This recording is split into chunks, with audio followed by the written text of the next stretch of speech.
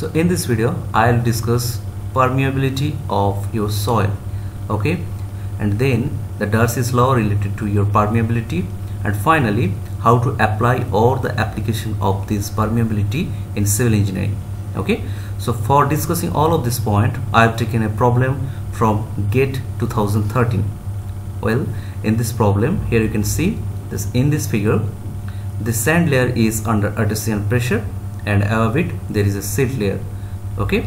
And you have to find the inflow of water from the sand layer to this lake through this silt layer okay? So let's start. Let's consider a soil sample okay? Let's say this is your soil sample. These are the soil particle agree? Now let's say if you insert a piezometer or a standpipe here the head indicated is let's say this is h1 okay? And at this end let's say the head is indicated as h2 okay? So due to this difference of head of course the water will travel from this end to this end. Now how the water travel? Of course the pores here the interconnectivity of the pores create a path within the soil itself and the water travels through this path. Let's say the water velocity through this path is v1 and water velocity through another path like this. Let's say this is another path. Let's say the velocity through this path is v2 and like that numerous number of velocity exist within this soil now if I take average of all of this velocity of course that is indicated by an average velocity. Let's say this is something like K. And this is the permeability of soil. So the permeability is a measure of easiness of flowing water through this soil material. Now we can say that this permeability is a function of two things first one is your pores within this soil.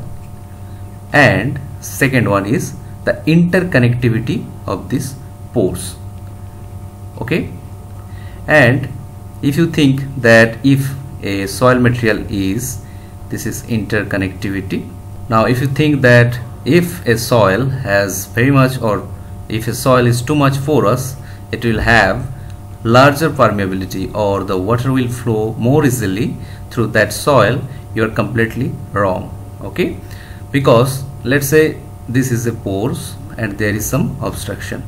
Again there is a pores again there is some obstruction like this. So the water come from this point to this point then it cannot percolate anymore due to this obstruction or there is no interconnectivity between this pores and this pores so both of these parameters are very much important for your better permeability of soil. Now before diving into the permeability in more details we have to learn the heads three heads. First one is what is datum head okay? Second one is what is pressure head pressure head and last one is what is piezometer head or piezometric head. Okay? Now consider any fluid. Let's say this is a fluid and this is the base.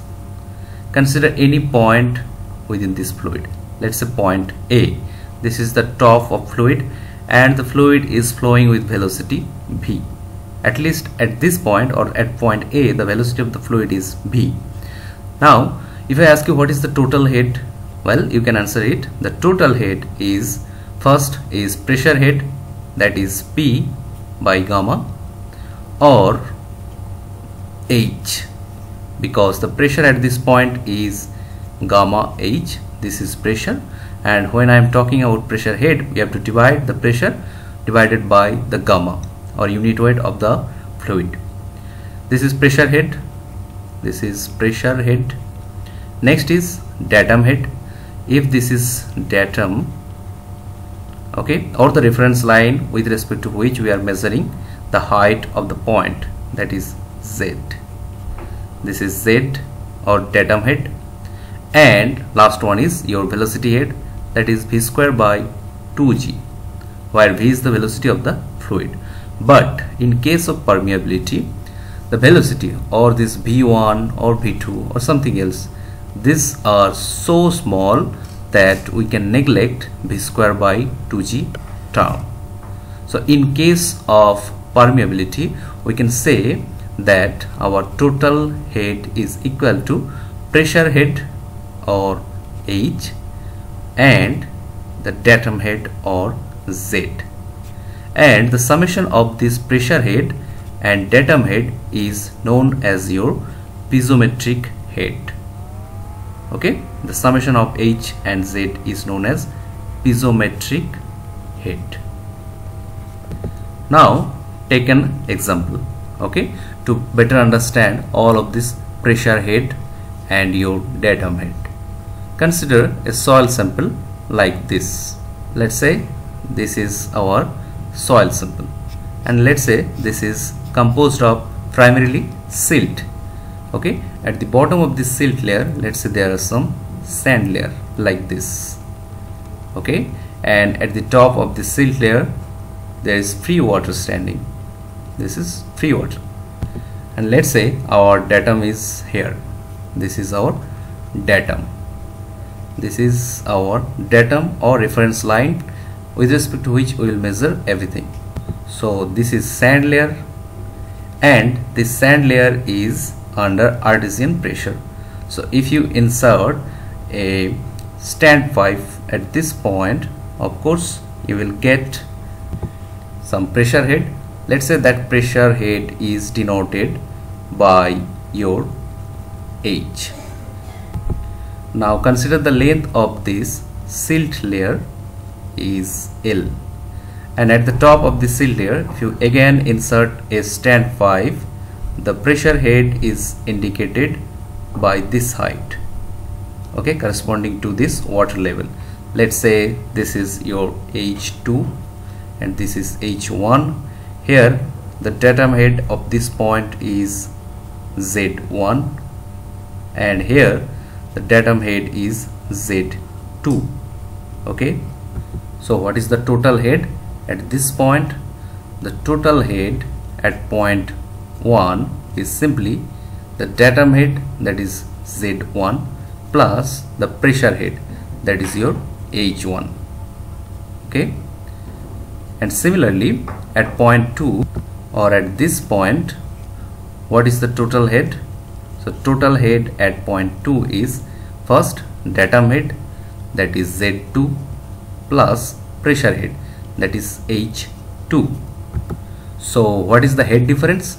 The head difference or your delta H is simply total head at point 1 minus total head at point 2 or we can say that Z1 plus H1 minus Z2 plus H2 this is the head difference between point 1 and point 2 of course this is greater than 0 from this figure it is clear.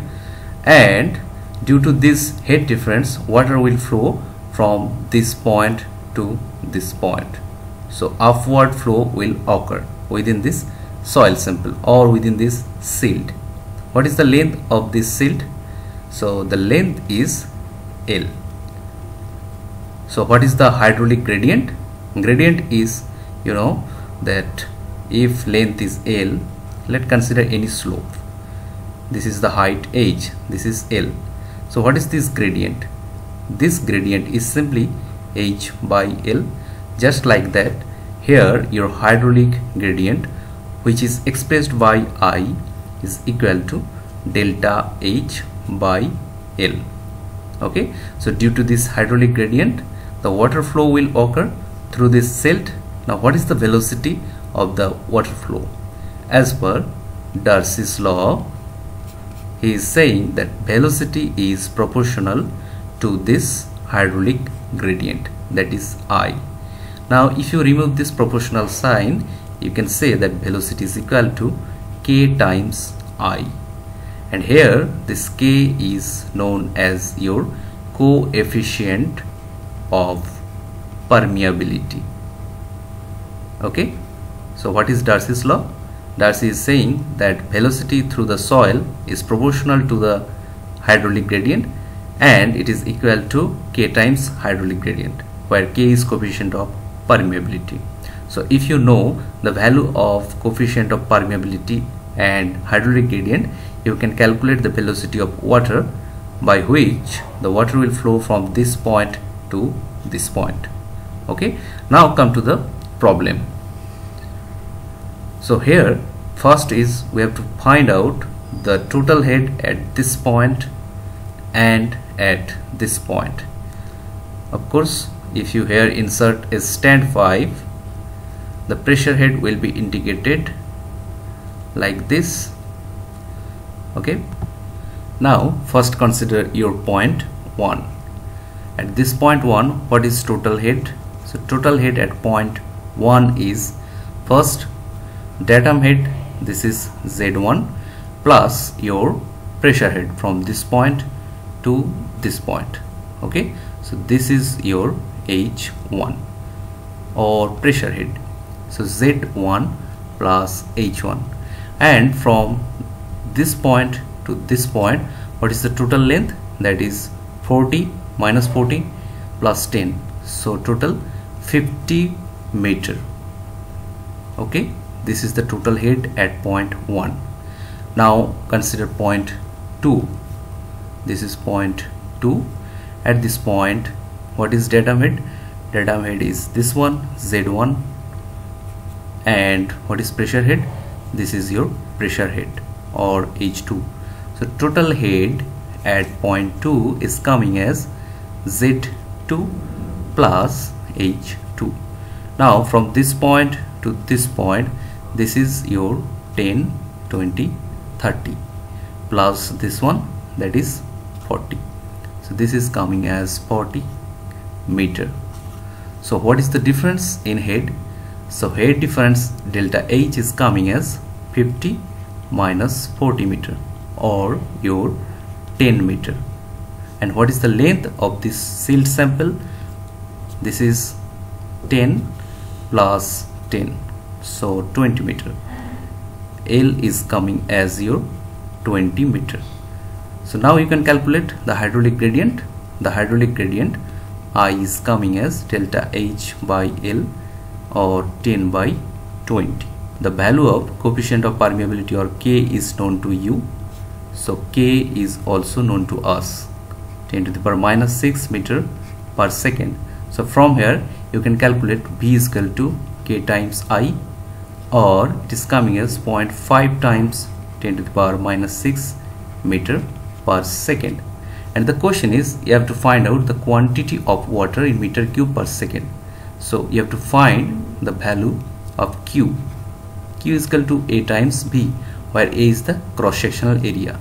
Now what is the cross sectional area? As per this problem you have to take per unit area.